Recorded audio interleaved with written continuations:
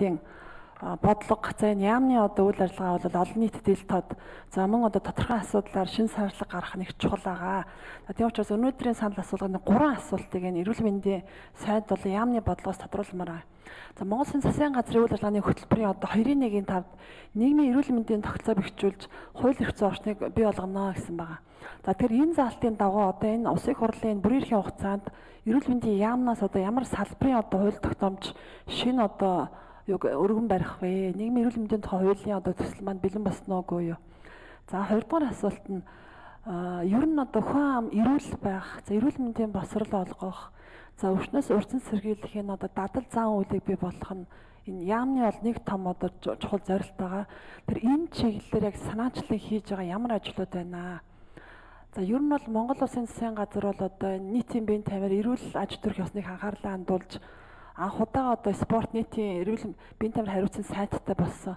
Тэгвэл энэ одоо сайтын одоо яг хамтран ажлын гол салбар бол энэ эрүүл мэндийн яам байх хэвээр. Тэр яам энэ тал дээр ямар санал гаргаж байгаа вэ? За гуравт нь энэ зар сурталчилгааны тухай хуулийн тодорхой заалтууд тэр дотроо одоо эрүүл мэндийн салбарын зар сурталчилгааны заалтууд ер нь амьдрал дээр хэрэгжихгүй байгаад байна. Тухайлбал одоо эмийн бүтээгдэхүүн, за хүнсийн нэмэлт бүтээгдэхүүн, за тодорхой одоо витаминууд гэх мэтэр эдгээрийн зар сурталчилгааны үйл ажиллагаанд хуйлтай зөрчилдсөн гэдэг юм уу одоо зар сурталыг хориглосон тодорхой одоо юм юмуд яваад байна. Жишээлбэл одоо хэвлэл мэдээллийн үндсэн сувгууд, телевиз, радио сонин за дээр нь одоо нийгмийн сүлжээний сувгууд дээр тодорхой одоо эмийн бүтээгдэхүүн, нэмэлт бүтээгдэхүүн, за мөн одоо тодорхой эмнэлгүүдийн сурталчилгаанд яг хуулиар хориглосон одоо зүйл нийлээд орж ийн. За жишээлбэл энэ зөвхөн эмнэлгийн нөхцөлд хэрэглэх одоо ийм үйлчилгээ, ийм бүтээгдэхүүнийг сурталчлах За мэрэгжлийн үйлчлэг явуулах тусгай зөвшөөрөл аваагүй эмч ажилтнууд тухайн одоо эрүүл мэндийн бүтээгдэхүүн, эмийн бүтээгдэхүүнийг олон нийтэд дамжуулах зэрэг ийм ажлууд бол байнга явагдаж байна.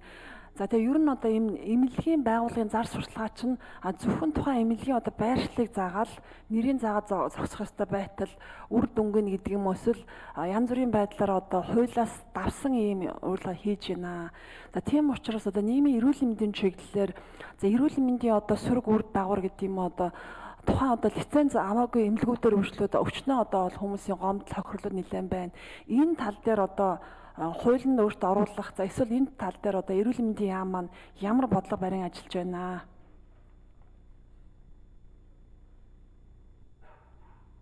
За 81 Сэрэживийн хөл эрүүл мэндийн сайд хариул. За мөнх цэцэг гишүүний асуултанд хариулъя. За нийт эрүүл мэндийн тухай хууль засгийн газраар орж дэмжигдээд одоо өргөн их хурл өргөн барихад бол бэлэн болсон байгаа. За саран гишүүний ажлын албанд бол бид бүхэн хариу юу хүлээлгэн өгсөн. 7 сард өгсөн байгаа. За хоёр дахь асуулт бол биеийн тамир олимпизм хариуцсан сайттай болсон. Бид бүхэн одоо биеийн тамир биеийн тамирын спортын үндэсний хороотойгоо хамтраад ялангуяа энэ дасгал хөдөлгөөн эрүүл мэндэд ямар ач холбогдолтой чиглэлээр үе шаттай ажлуудыг төлөлөөд одоо энэ эх оны 1 сараас эхлэн бол ингээд сар болгоныг давтамжтай юм аянгууд өрнүүлэхээр ингэ төлөвлөгөөнд орогдоод тусагдаад ажлаас гараад бэлтгэл ажлууд хийгдэж явж байгаа. За яг энэ биеийн тамир одоо хүү хүний бас хариуцлага энэ дээр бол маш чухал. Тийм учраас бас яг иргэнлүү чиглэсэн юм нөлөөллийн ажлуудыг бас бид бүхэн бол бусад төрийн бус байгууллага болон энэ хамтран ажилладаг байгууллагуудтай бол хийж байгаа. За мөн жишээ нь одоо захим хэмжээс ахуулаад ирэн бүх шатны энэ инклюзер хүмүүстэйг бол хамтарч одоо бидний нөлөөллийн ажлуудыг бол үе шаттай тогтмол байнга явуулж хийдгээ. За гуравт яг таны саяны хэлсэн бол яалтчгүй энэ бол хууль тогтоомжн дээр бас хэтэрсэн зарим нэг сурчлагын ажлууд явж байгаа. За жишээ нь одоо өнгөрсөн 2 сарын хугацаанд одоо имчилгээтэй асуудал гарсан. За энэ бол манай улсад одоо өдөрдөмж байдгүй, стандарт байхгүй, энийг бол зөвшөөрдгүү. За тийм учраас бид үсэн чи мэрэгжлийн хэлтийн байгууллагатайгаа хамтарч энэхүү асуудлыг бас шийдвэрлэж хууль хяналтын байгуул шилжүүлсэн байгаа. За мөн нийслэлийн эрүүл мэндийн газраас бас нэлээд эмнэлгүүдэд бас зөвшөөрөл өгдөг. Энд чинь бас тодорхой хэмжээний хяналт цензур тавьж бас өгөгддөг байгаа. Тийм учраас энэ ялангуяа нийслэлийн эрүүл мэндийн газар та хамтарч энэ байнгын одоо энэ эрүүл мэндийн байгууллагууд явж байгаа. За дээрэс нь хэвлэл мэдээлэлээр явж байгаа зарим эм болон эмийн ялангуяа эмийн нэмэлт бүтээгдэхүүн дээр бол эм эмнэлгийн эрхслийн хяналт зохицуултын газар бол байнгын хяналт тавьж одоо байцаагч нар бол ажилдаг. За одоо энэ эх оны 1 сарын 1-ээс эхлэн мэрэгжлийн хяналтын байгууллага бас татан бүгдж байгаа толботой манай дээр бас нэг тусдаа газар байгуулагдана.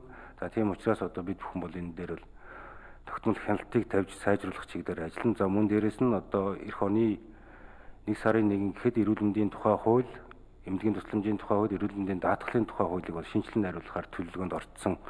Энэ хуулиуд дээр бас тодорхой заалтуудыг бол тусгаж өгөхөөр ажиллаж байгаа.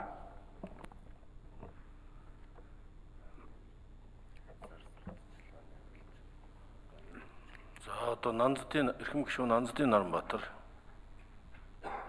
За би бол э, гүйцэтгэлийн санхүүжилттэй холбоотой л зүйл асууя.